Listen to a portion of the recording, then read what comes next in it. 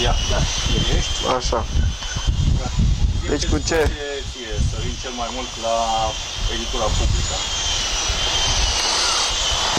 Uh, cred că se vede la editura publică faptul că au relații foarte bune cu autorii.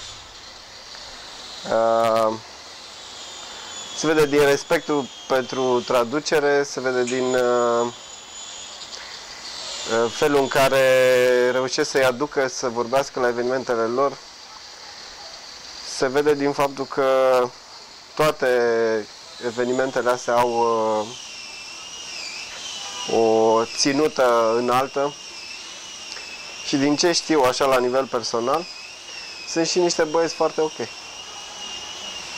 Și dacă ar fi să vorbești despre una din cărțile publica, Aici cred că o să fiu subiectiv, o să vorbesc de una sau două cărți pe care uh, le-am vrut traduse în românește sau care au legătură cu domeniul meu.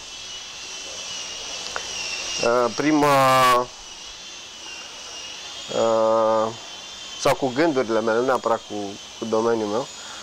Prima este uh, ce ar face Google, pe care am citit-o acum câțiva ani și cu care am venit într-o zi în mână la domnii de la Publica și le-am zis că trebuie tradusă cât încă Google e pe val. Uh, și mă îmi place să cred că am influențat și eu puțin alegerea asta. E un titlu foarte, foarte bun uh, și Jeff Jarvis scrie, scrie foarte bine. Uh, o altă carte care mie mi-e dragă de la Publica este Alan Greenspan. Uh, dincolo de faptul că e un personaj foarte controversat acum, uh, Greenspan are o... Uh, cred că a fost o traducere foarte grea în primul rând uh, și uh, chiar, am, chiar am plăcerea de a o citi în românește.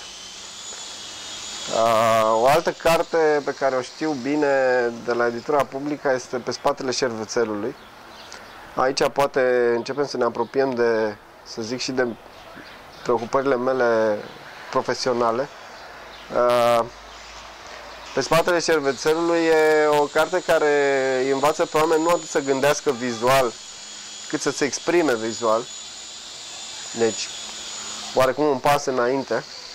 Și cred că aduce corporațiilor din lumea întreagă, uh, dacă nu substanță în a uh, vedea procese într-un fel mai spectaculos, cel puțin uh, aduce perspectiva asta că PowerPoint-ul poate mai mult. Și dincolo de a desface procese în tablouri frumos desenate, Uh, sper că din cartea asta foarte mulți manageri vor învăța că și slideshow-ul e, uh, poate fi spectaculos. Uh, și nu știu dacă sunt destule. O carte care mie, mie e foarte dragă și unde am scris și prefața. Uh, uh, este Excepționalii lui Gladwell, uh, de unde puteți afla tot felul de chestii trăznite. Uh, între care și de ce unele avioane cad mai des decât altele. și o urare pentru publica la final? Uh, cel puțin patru titluri pe lună. Gata.